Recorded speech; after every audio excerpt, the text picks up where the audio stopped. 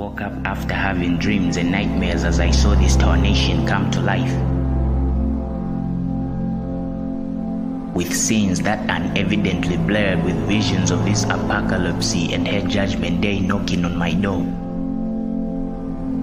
Heard that every man on earth will be given a reward according to what they've done on earth pertaining to the word of God, as scripture says. Out of one man we saw the disobedience of man as it became an unholy matrimony with no one to pay the price. Destiny, fate ruined as we lost the sense of life. Our lies resurface back to life yet never come clean to these revelations.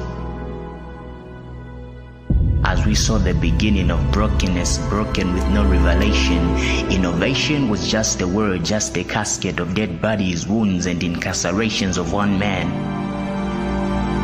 As darkness reckoned what light had bestowed for life, it never realized that an immortal being would just drop from heaven and erase all darkness with just a drop of blood.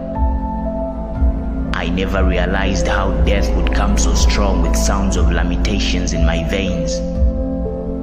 I needed to die of my physical body to understand what revelation meant. That it's not just a word, but it's seeing beyond what God wants you to see. And perceive your God given abilities and believe that they have been fulfilled pertaining to the Word of God